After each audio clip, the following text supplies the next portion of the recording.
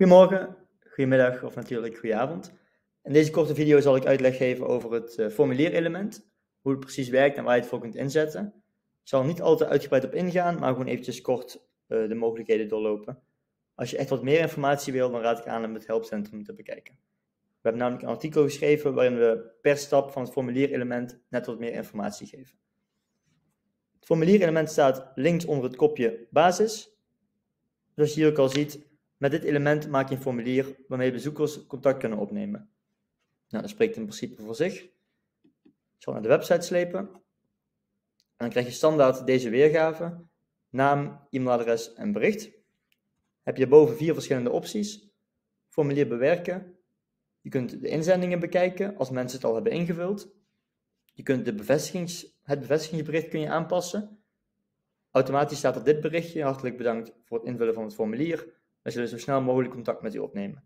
Nou, kun je helemaal naar wens aanpassen. En tot slot bij het tandwieltje staat het ontvangstadres, of je een kopie wil hebben, of als je een captcha wil aanvinken. Dan krijg je het zo te zien. Oké, okay. klikken we op formulier bewerken. Ziet er dan zo uit. Hier staan de drie kopjes die we hier hebben staan. Dus naam, e-mailadres en bericht. Die kun je middels het tandwieltje kun je die bewerken kun je nog het type aanpassen van wat er precies komt te staan. Je hebt de keuze uit acht verschillende opties. Je hebt tekstveld, e-mailveld, berichtveld, selectievakjes, meer keuze, datumkiezer, je kunt een bestand uploaden en je kunt een opmerking toevoegen. En bij dit kun je een bestand laten uploaden bedoel ik. Dan kunnen mensen zelf iets toevoegen. Vervolgens kun je de naam van het stukje uh, aanpassen. En je kunt het nog een verplicht veld maken of niet. Hier staat het automatisch wel aangevinkt. En dan zie je rechts ook zo'n sterretje staan. Je kunt ook uitvinken en dan zie je dat hier het sterretje verdwijnt.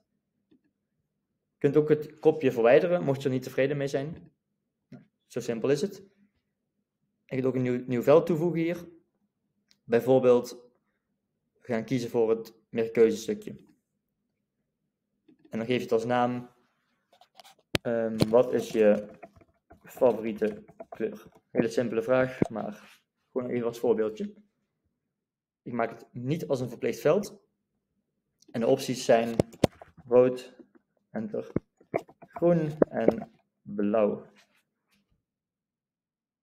Dan klik je hier op opslaan. En dan zie je je formulier aangepast. En dan kunnen bezoekers van de website dit formulier invullen om contact op te nemen met de eigenaar van de website.